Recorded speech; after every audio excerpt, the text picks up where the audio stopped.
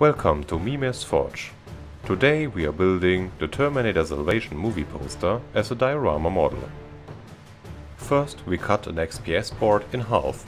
This will be the base. I printed out a template and transferred the most important areas to the XPS foam.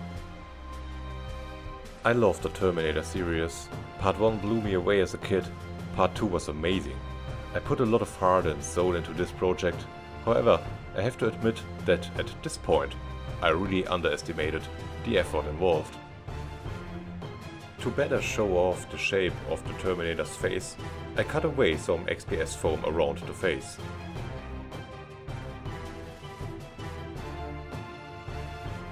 I do the same for the eyes and nose.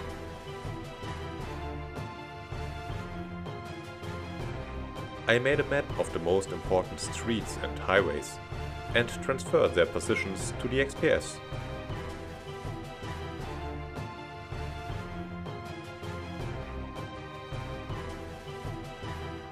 I use clay especially for the highways. I flattened it first. Then I put the strips in position.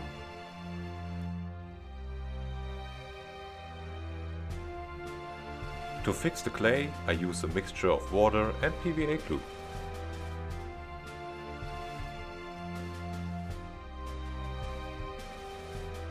I cut polystyrene into strips.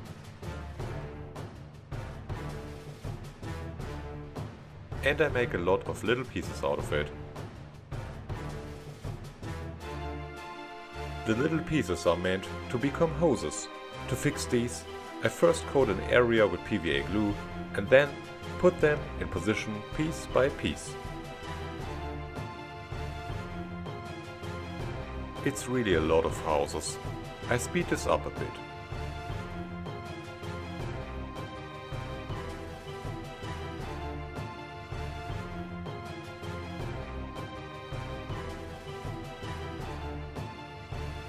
Yes, that's really something you dwell on for a long time. I tried to place the houses with a purpose, so that later no house is without a street and would therefore be inaccessible. I think that makes a difference in the end when you look at it.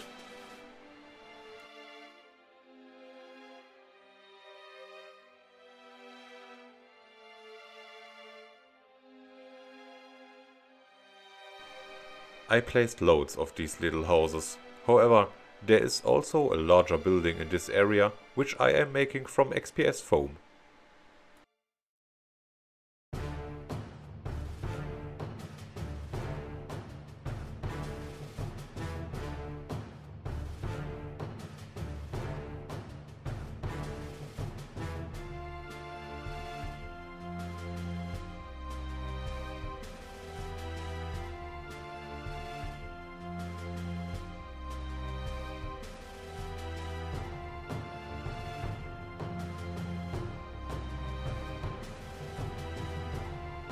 This is how a small property is created.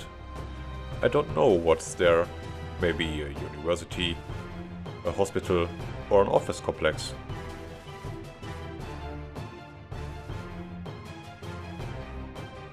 After that, other small houses follow.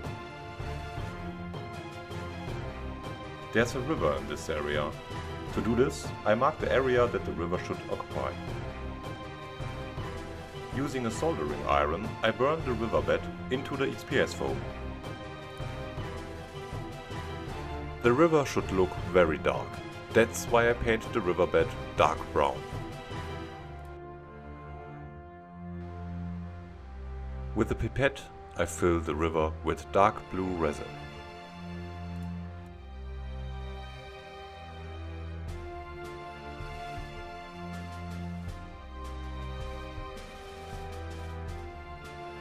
A large number of other houses were placed.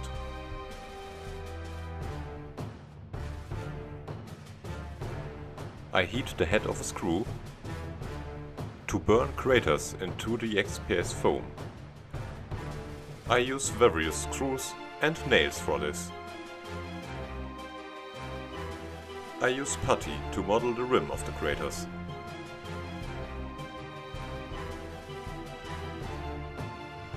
Entire crater landscapes are created in this way. Craters are also formed where there are no depressions.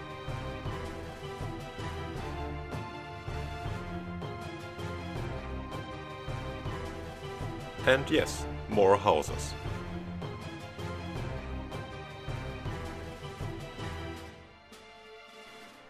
Larger buildings made of XPS foam are created in the mouth area.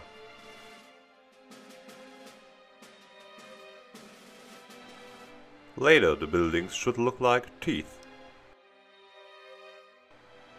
This round building, it could be a hall or a stadium, is quite conspicuous. I placed more small buildings. Now I use putty to build ruins.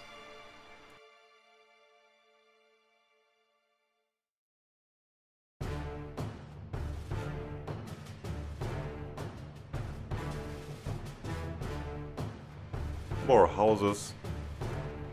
More ruins. Now I'm ready to seal the surface with a mix of water and PVA glue.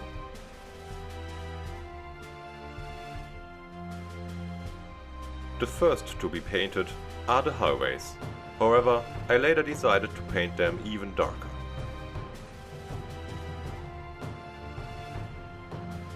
I also paint some smaller streets. I try to make this logical, so that every building is connected to the road network. Since the eyes will later be illuminated with LEDs, I make a hole for the cables. The crater areas are now painted with dark brown acrylic paint. Areas inside the head are painted in lighter colors. This is how the basic color model is created. Details will follow later.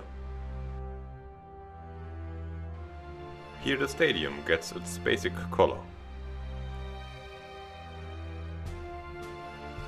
Likewise the buildings in the mouth area.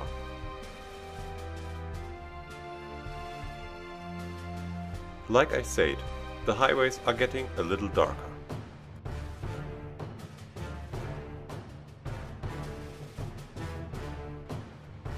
Grass is growing in some areas, so they get a green tint.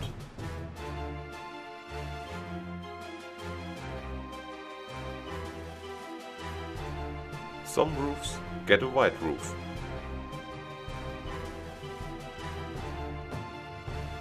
Here I highlight a few areas.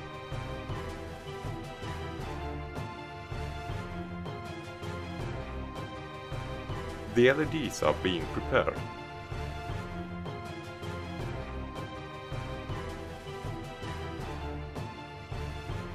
Shrink tubing for safety. Now the LEDs are placed in the ice. The cables just fit through the holes.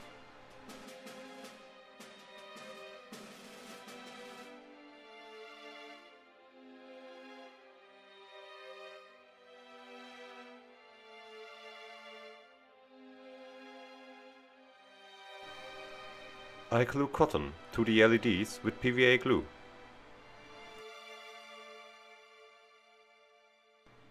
In the end, it should look like explosions.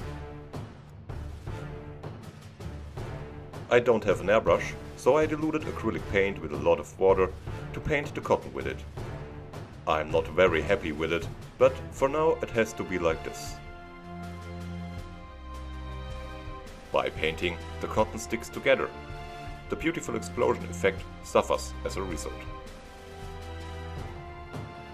I'll add more cotton.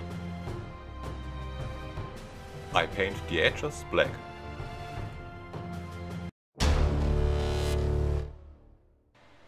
And this is the finished result. Please like and subscribe if you don't want to miss anything. Thank you for watching.